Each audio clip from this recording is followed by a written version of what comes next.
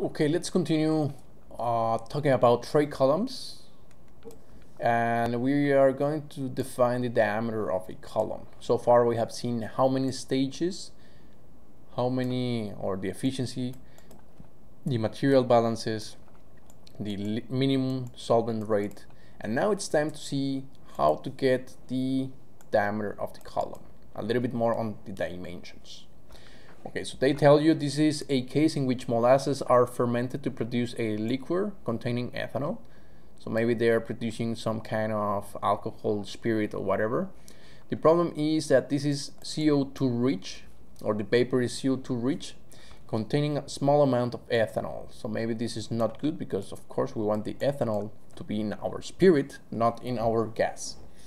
The alcohol will be removed by countercurrent absorption with water in a tray tower. So remember, if this is countercurrent, this should look something similar to this, liquid flow rate, gas flow rate,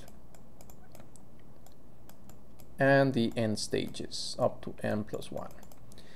Okay, so they tell you at the gas inlet, which is here, the rate is 180 uh, kilomole per hour at this temperature and pressure.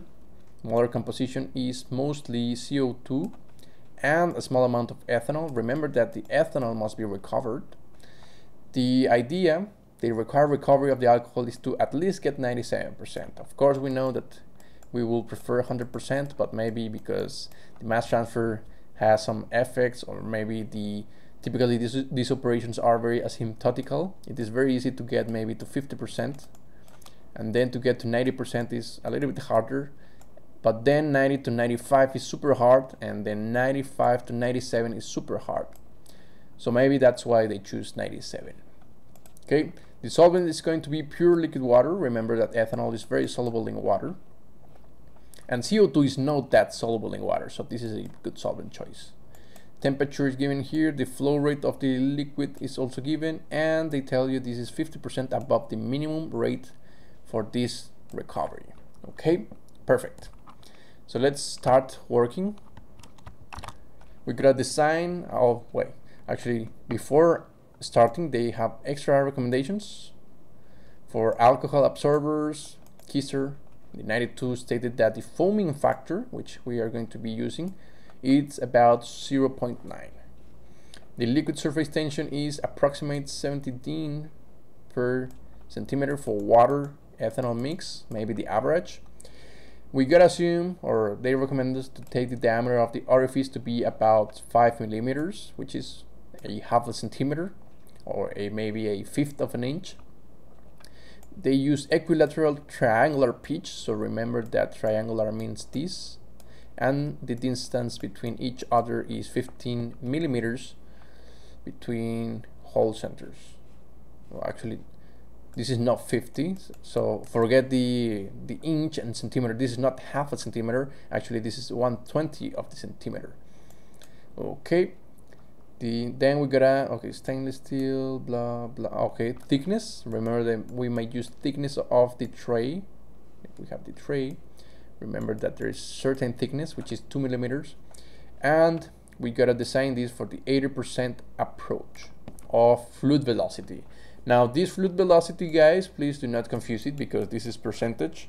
This is not the same as 50% above the minimum liquid rate. So this is the minimum amount of solvent required and this is the maximum amount for fluiding. So two different things, they might confuse you. I've seen students which they confuse the percentages because they make kind of similar they are talking about flooding, liquids percentage. Maybe sounds kind of tricky. It is not. Okay. Now the solution. First get the VGF factor. Remember that for this we will require this C constant which is here. Depends on the foaming on the surface tension depends on the geometry the size of the tray the holes and so on. So before because we already have the densities of the liquids and gas we need to calculate C. So C is the focus of this uh, exercise. Okay. First things first we gotta calculate FST surface tension factor. So we got this expression, we know that 17 per centimeter, we can plug it in directly. This 20 is based on that, those units. And then we get 1.285. What's next? The FF, which is right here, is the foaming factor. It is directly given, 90% or 0.9. And then, let me see what we have here. We gotta calculate the total X value. And remember that the X value is not the same as, as this one right here, which is VGF. Kind of similar, but they are not the same. Remember that X is defined as the flow parameter, which is the liquid flow rate, gas flow rate, the density ratios to the 0.5 power. So first things first, we gotta calculate L and G. These are given, so no need to calculate anything, and we can already perform this side of the equation. Now, how do we get L? L is given here, is the total amount of flow rate of the liquid. Change that to mole or to mass, because these are based on mass and then change that to seconds. So we have kilograms per second. Do the same for the gas. We have 180 kilomole per hour. Change that to mass. Remember that these are based per mass. If you use it per mole, you're going to have a error, especially because they have different molar uh, weights, and this is based on mass. So the correlation or the flow parameter is based per mass. So keep going, and we will we will get this value and this value, which is right here and right here.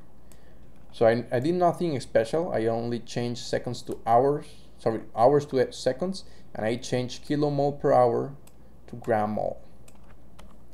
And after that, doing this operation, the X flow uh, parameter, I see that this is way below this value. So the recommended AD-AT ratio is 0.1. And for anything above this, the FHA value or the recommended FHA value is 1. Here it is.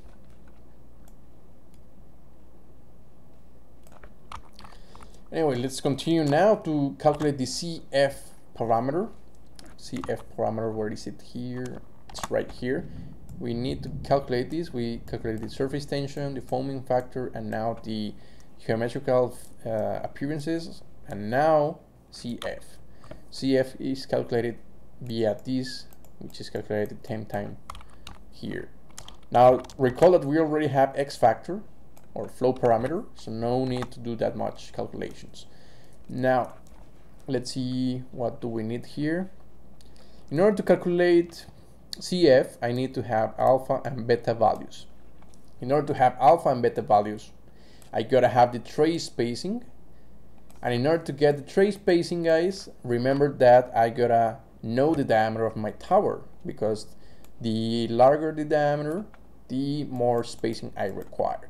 So there are two ways we can do this. We can guess and then see if we are right or the most formally known iteration. We can assume one value, one value, sorry, and then calculate and see if this diameter is correct if it is not, then we go upwards. Eh, if it is now not correctly, then downwards. Okay, let me clean this up. The typical ways to calculate is maybe one meter, three meter. It's kind of hard to guess, but definitely go. I, I prefer going for three meters. Uh, and for three meters, you have 0.6. But in this specific case, I use this one right here. So it will be a good exercise for you to assume this is 3 meters and therefore use 0.06 meters. What you're going to find out later on is that your first iteration was incorrect and that you need to adjust your value. The following guess, the perfect guess will be 1 meter and then you will see that you need a tray spacing of 0.5 meters and simply you will see this specific case. Let's see how it goes. Okay, so let's get alpha, given the tray spacing of 0.5, you get this. Let's get beta, you get this. Let's substitute alpha, beta, and x value, which we already have it, 0.1. you get this value 0.0791 now we're ready to substitute everything into this equation. We got CF we got HA foaming factor and surface tension. Surface tension is a little bit high foaming factor 90 HA too low to be considered and CF is very low. What we get is this experimental factor. And now guys remember that actually what we wanted was the superficial velocity so let's do it. Substitute C this is meter per second. This is going to cancel units kilogram per cubic meter cancels out. Doing the operation you get that the superficial velocity of the gas is 2.07 now very important to see guys that if you get something about maybe 8 meters per second or above you get something of two digit number this is definitely not likely the best operation. You either got an error or the recommended operations are incorrect okay but we're not done guys this is not the diameter this was just the superficial velocity the good thing on having the superficial velocity is that it's much easier to relate the diameter given the diameter and the superficial velocity. So let's calculate the volumetric flow rate and this is given here.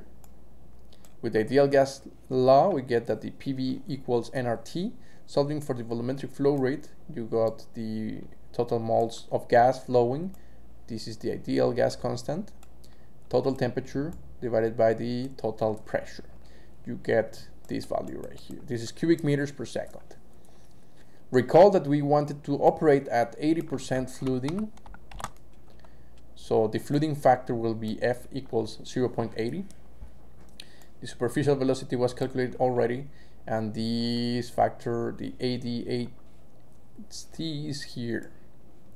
Very small, 1 minus 0.01 which is 0 0.90 well this is backwards. And p is well you know p already. And finally to get the diameter guys remember the correlation? We got the volumetric flow rate? Yes four times the volumetric flow rate do we got the fluiding factor f yes it's 0.80 do we get the superficial velocity BGF? Yes, goes here. Do we got the 1 minus ADAH, which is here? Yes, 0.90. And we have the P value, which is actually incorrect. This goes to the left. And we need, don't forget to power this to the 0.5. I got the value pretty near to 99, 0.99 which is one meter. Guys, I, I typically start with a three meter diameter, so I didn't predict this. I already knew the value, so I didn't want to make two iterations. But if you were to calculate 0.6 meters, you will have a different diameter. And if this was true, it will not make sense that if you have this tray spacing, if you have maybe 5 meter, you gotta increase the, the spacing if you were to have 0.5 meters, you were to decrease the spacing. So that way you will have to repeat everything from here. But anyways, we are done guys. Hopefully you like this uh, diameter calculation for trace columns because we are going to be going for the pressure drop, which typically is based on diameter as well.